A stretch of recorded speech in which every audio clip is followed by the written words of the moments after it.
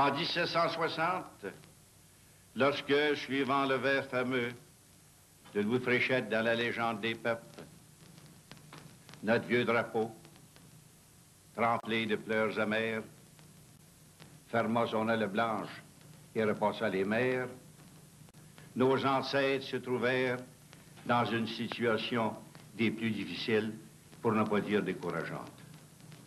Seuls sur un immense territoire, entourés d'ennemis vigoureux et pas toujours loyaux, ils ont combattu et voulu combattre au prix de leur vie et des plus grands sacrifices pour garder à cette terre qu'ils avaient découverte, qu'ils avaient arrosée de leur sueur et de leur sang, le caractère français que nos ancêtres ont voulu lui donner. Et d'année en année, les luttes se sont renouvelées. D'année en année, de différentes façons et sous différents théâtres, nos aïeux se sont battus, ont lutté. Ils ont lutté contre ceux qui voulaient nous assimiler. Ils ont lutté contre ceux qui voulaient considérer le peuple de Québec comme un peuple d'esclaves, incapable de se gouverner, comme un peuple de serviteurs, capable d'administrer. Ils ont lutté dans tous les champs de l'activité humaine. Et on se rappelle que ces conquêtes, que ces victoires n'ont pas été l'œuvre d'une journée, n'ont pas été la résultante d'une chance, n'ont pas été la conséquence d'abandon de la part des adversaires, mais ça a été la résultante de l'héroïsme, de la télicité, du dévouement et du patriotisme. C'est ça que représentent, mesdames et messieurs, les résultats de centaines de vies. C'est ça que représente le travail héroïque, désintéressé, le sang, les sueurs, les heures d'inquiétude de nos aïeux. C'est tout ça que représentent les droits auxquels nous sommes attachés et c'est ça que nous voulons conserver et c'est ça que nous allons conserver.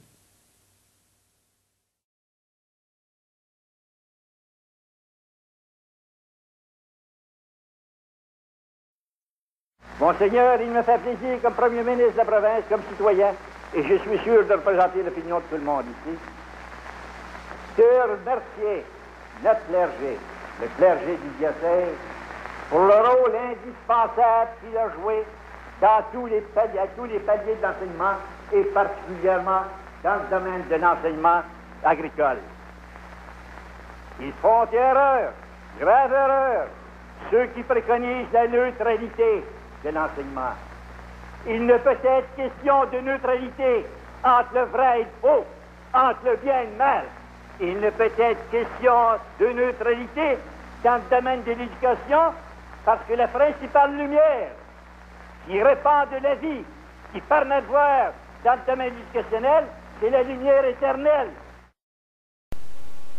Je suis fier et orgueilleux de la population de Québec, parce qu'à travers les nuages du chaos économique, il est consonant de constater que la province de Québec va accomplir et la province de Québec donne des éléments et des garanties de stabilité et de sécurité qu'on trouve nulle part ailleurs. Ce sont ces garanties de stabilité que nous voulons garder en restant maîtres chez nous. Le meilleur moyen d'y conserver, c'est faire des lois à Québec par Québec et pour Québec et non pas d'être à l'arbre d'aucun parti fédéral quel qu'il soit.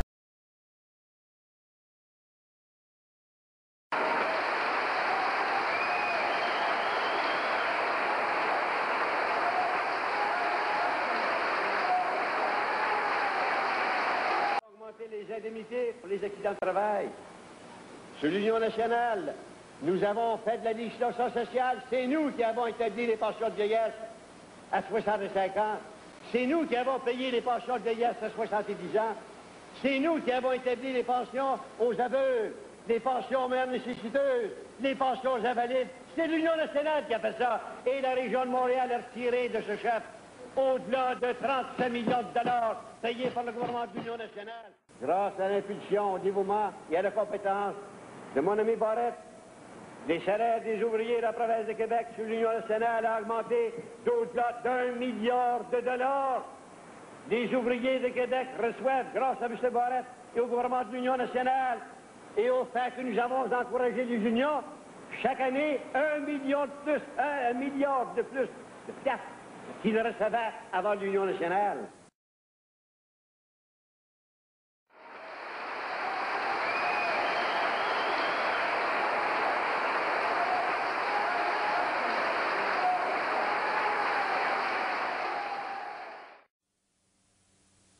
Au Vierge de en qualité de chef de notre belle province de Québec, je viens vous consacrer notre province tout entière.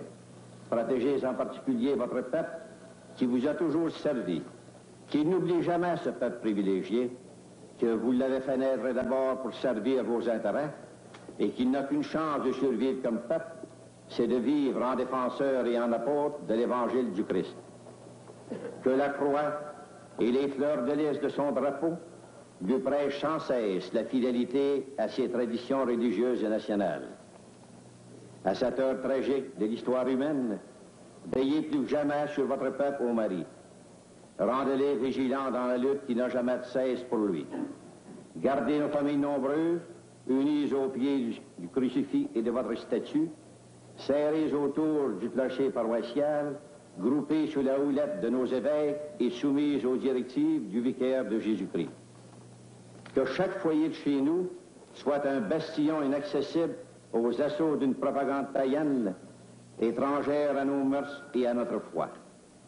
Ô Vierge du Cap, Reine de notre pays, devant qui nous prononçons cette consécration, nous avons confiance que votre cœur maternel abritera notre faiblesse et nous inspirera une fidélité inviolable aux enseignements du Christ et de son Église.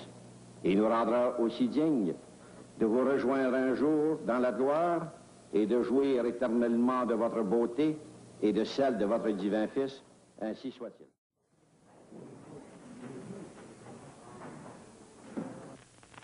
Aux cultivateurs, aux ouvriers, aux industriels, aux commerçants, à toute la population de la province, et tout spécialement à mes fidèles, loyaux amis et lecteurs des Trois-Rivières, je souhaite, suivant la vieille et toujours admirable formule, une bonne et heureuse année et le paradis à la fin de leur jour.